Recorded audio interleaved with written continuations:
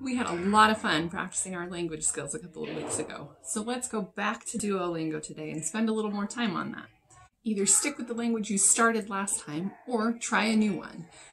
Complete a few lessons, learn some words and phrases, and then send proof our way.